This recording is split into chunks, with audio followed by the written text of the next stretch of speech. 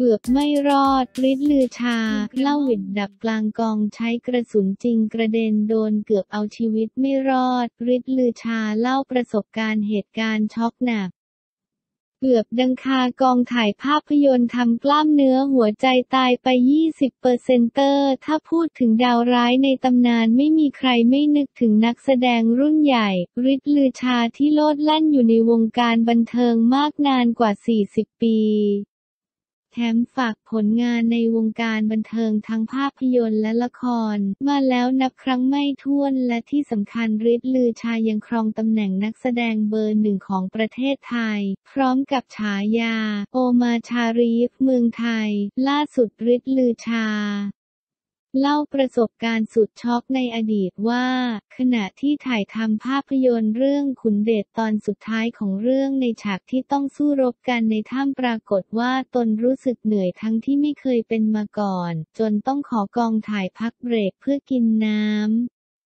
ซึ่งพอรู้สึกว่าอาการดีขึ้นแล้ว ก็ได้ถ่ายทำภาพยนตร์ตอบกลับรู้สึกเหนื่อยมากขึ้นกว่าเดิม แต่ก็พยายามฝืนเล่นฉากต่อสู้รบต่อให้จบ แต่อาการกลับยิ่งแย่ลงเรื่อยๆ จนต้องขอกองถ่ายตัดจบเรื่อง โดยหลังจากถ่ายทำภาพยนตร์เสร็จตนจึงรีบเดินทางกลับบ้านเกิดที่จังหวัดสระบุรี เพื่อไปพบคุณหมอเป็นระยะทาง 25 กิโลเมตร แต่ปรากฏว่ากล้ามเนื้อหัวใจตายไป 20%ซึ่งสาเหตุมาจากโรคเส้นเลือดหัวใจตีบ และน้อยคนนักที่รู้ตนเองว่าเป็นโรคนี้ เพราะเป็นภัยเงียบแต่โชคดีที่วันนั้นเจอคุณหมอเก่งจึงสามารถรักษาตัวจนมีชีวิตรอด แต่กล้ามเนื้อหัวใจกลับใช้ได้แค่ 80%เท่านั้นนอกจากนี้ ยังเคยเจอประสบการณ์ผิดคิวจนเกือบเสียโฉมเพราะในอดีตไม่มีนักแสดงแทนต้องแสดงด้วยตนเองทั้งหมดและไม่มีเอฟเฟกต์เหมือนปัจจุบันนี้ ซึ่งในฉากบู๊ทางทีมงานต้องยิงกระสุนจริงเพื่อให้เป็นเอฟเฟกต์ปรากฏว่า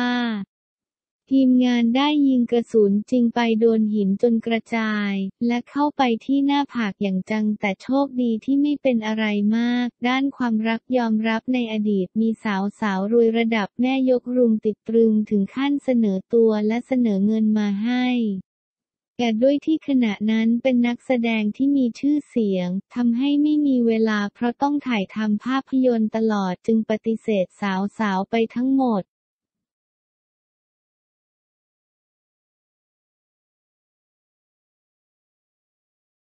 ชื่นชมสนั่นโซเชียลเคที่เพอร์รี่โชว์สุดปังเฉลิมฉลองการรับตำแหน่งของโจไบเดนชื่นชมสนั่นโซเชียลเคที่เพอร์รี่โชว์สุดปังเฉลิมฉลองการรับตำแหน่งของโจไบเดนชื่นชมสนั่นโซเชียล Just Jared รายงานว่าเกิดเสียงชื่นชมอย่างล้นหลามในโลกโซเชียล กับการขึ้นโชว์เพลง Firework ของนักร้องสาวคุณแม่ลูกอ่อนเคที่เพอร์รี่ในรายการพิเศษ Celebrating America ที่ออกอากาศเมื่อคืนวันพุธ 20 มกราคม จากกรุงวอชิงตันดีซีสหรัฐ ซึ่งเป็นส่วนหนึ่งในการเฉลิมฉลองการสาบานตนเข้ารับตำแหน่งประธานาธิบดีสหรัฐของโจไบเดนและรองประธานาธิบดีกมลาแฮริสนักร้องสาววัย 35 ปีร้องเพลงไฟwork ซึ่งเป็นหนึ่งในเพลงฮิตของเธอขณะที่มีพลุจำนวนมากถูกจุดขึ้นส่องแสงสว่างไสวเหนืออนุสาวรีย์วอชิงตัน เพื่อเป็นการต้อนรับคณะทำงานใหม่ภายใต้การดูแลของโจไบเดนประธานาธิบดีสหรัฐคนที่ 46 โจไบเดน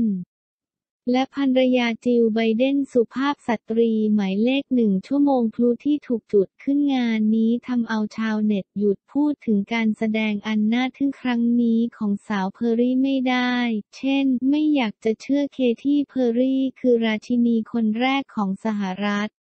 โอ้ พระเจ้า เคที่เพอร์รี่สุดทรงพลังสุดยอดมากแม่ เคที่เพอร์รี่เธอคือผู้เนรมิตดอกไม้ไฟ ใช่เธอทำมันจริง ๆ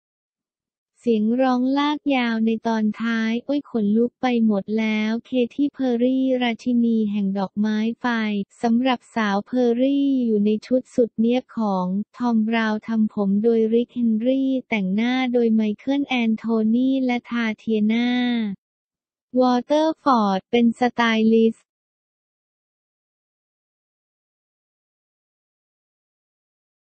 กรมสมเด็จพระเทพทรงฟื้นพระองค์ดีผลน่าพอใจหลังทรงรับการผ่าตัดข้อพระบาทกรมสมเด็จพระเทพทรงฟื้นพระองค์ดีผลน่าพอใจหลังทรงรับการผ่าตัดข้อพระบาทคณะแพทยศาสตร์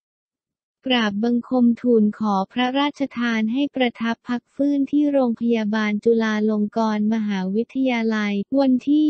21 มกราคม สำนักพระราชวังออกแถลงการเรื่องสมเด็จพระกนิษฐาธิราชเจ้า กรมสมเด็จพระเทพรัตนราชสุดา สยามบรมราชกุมารี ทรงพระประชวรฉบับที่สามระบุว่าตามที่สำนักพระราชวังมีแถลงการเกี่ยวกับสมเด็จพระกนิษฐาธิราชเจ้า กรมสมเด็จพระเทพรัตนราชสุดา สยามบรมราชกุมารีเสด็จพระราชดำเนินไปประทับณโรงพยาบาลจุฬาลงกรณ์สภากาชาติไทยเพื่อทรงรับการผ่าตัดรักษาข้อพระบาททั้งสองข้างเป็นที่ทราบโดยทั่วแล้วนั้น คณะแพทย์ผู้ถวายการรักษาได้รายงานว่าการผ่าตัดข้อพระบาทเมื่อวันที่ 20 มกราคม 2564 เป็นไปด้วยความเรียบร้อยหลังการผ่าตัดทรงฟื้นพระองค์ดีผลการผ่าตัดเป็นที่น่าพอใจของคณะแพทยศาสตร์ ทั้งนี้คณะแพทยศาสตร์ ได้กราบบังคมทูลขอพระราชทานให้ประทับพักฟื้นที่โรงพยาบาลจุฬาลงกรณ์สภากาชาติไทยเพื่อติดตามผลการรักษาต่อไปอีกระยะหนึ่ง จึงประกาศมาให้ทราบโดยทั่วกัน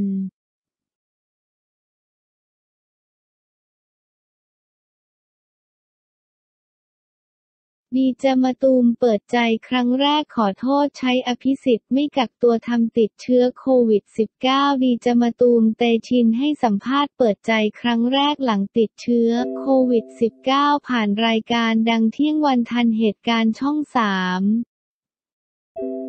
พร้อมขอโทษสังคมใช้อภิสิทธิ์ไม่ยอมกักตัว จากกรณีข่าวช็อกวงการบันเทิงอีกครั้งหลัง นายเตชินพลอยเพชร หรือดีจมาตูมนักแสดงพิธีกรและผู้ดำเนินรายการวิทยุชื่อดัง ได้อัดคลิปลงในไอจี พร้อมกับร่ำให้หลังจากทราบผลว่าติดเชื้อโควิด และระบุว่าได้รับการตรวจสอบแล้วรายละเอียดเพิ่มเติม ตูมจะอัปเดตทีหลังนะครับ ขออภัยในความไม่สะดวกนะครับ โดยเมื่อช่วงค่ำวันนี้ 20 มกราคม ทางโรงพยาบาลได้ส่งรถมารับตัวดีจมาตูมเข้ารักษาตัวเรียบร้อยแล้วล่าสุดดีจมาตูมได้ให้สัมภาษณ์ผ่านรายการเที่ยงวันทันเหตุการณ์ ช่องสามว่า อาการตอนนี้ปกติทุกอย่างดี ค่อนข้างมั่นใจว่าติดเชื้อในวันเกิดตัวเอง 9 มกราคม ซึ่งปีนี้จากสถานการณ์โควิด -19 ก็มีการจัดงานวันเกิดเล็กๆ และคุณแม่อยากไปทานร้านที่เห็นกันจากโพสต์ลงไปแล้ว มีคุณแม่กับเพื่อนสนิทมาไม่ถึงสิบ คนแต่ก็มีเพื่อนๆส่งของมาเซอร์ไพรส์ร่วมอีกเป็น 13 คนมั่นใจว่าติดจากวันนั้น เพราะหลังจากวันนั้นก็ใช้ชีวิตปกติ แต่ลดรับงาน เพราะไปต่างจังหวัดมา กระทั่งเริ่มรับงานครั้งแรกวันที่ 18 มกราคม ต่อมาวันที่ 19 มกราคม พื่อนที่ไปร่วมงานวันเกิดก็โทรมาแจ้งว่าติดเชื้อโควิด ทั้งมาตูมและคุณแม่ก็เลยพากันไปรีบตรวจหาเชื้อในค่ำคืนวันอังคารทันที ผลตรวจออกมาวันพุธคุณแม่และคนอื่นๆ ที่ไปร่วมงานด้วยไม่มีใครติด แต่ต้องกักตัวเพื่อรอดูว่าจะเป็นอะไรไหม จากกรณีที่มีการแชร์ภาพเพื่อนๆ และมาตูมไปเที่ยวภูเก็ตกัน ต้องขอชี้แจงว่าทำลายภูเก็ตหลังเขาดาวคือวันที่ 1-4 มกราคม การขึ้นเรือเรามีมาตรการทุกอย่าง มีแต่คนกันเองไม่มีคนอื่นเพิ่ม หลังจากกลับภูเก็ตมะตูมก็ได้ไปเชียงใหม่ต่อ แต่เชียงใหม่มะตูมไม่ได้ไปไหนมั่นใจว่าไม่ได้รับเชื้อจากภูเก็ตและเชียงใหม่แน่นอน ส่วนประเด็นเพื่อนที่ไปร่วมงานวันเกิดมะตูม ติดโควิดลบ19มีเพียงคนเดียวเท่านั้นสำหรับเรื่อง แต้วมะตูมเสียใจที่สุดเพราะร่วมงานกับแต้ว เล่นติ๊กตอกกับแต้ว ไม่รู้ว่าแต้วรับเชื้อไปหรือเปล่าหรืออาจจะยังไม่ฟักตัว อยากออกมาขอโทษสังคมเรื่องไทม์ไลน์ที่ชะล่าใจละหลวมไปบ้างขอโทษที่ใช้อภิสิทธิ์บางอย่างที่มีความรู้สึกว่าไม่ต้องอยู่บ้าน 24 ชั่วโมงหรอก อันนี้อยากขอโทษสังคม แต่ตอนนี้ไม่อยากมานั่งโทษตัวเองหรือโทษใคร อยากให้พี่น้องชาวไทยทุกคนต้องระวังตัวเองเพราะโควิดรอบนี้ระบาดง่ายกว่ารอบแรกมากๆ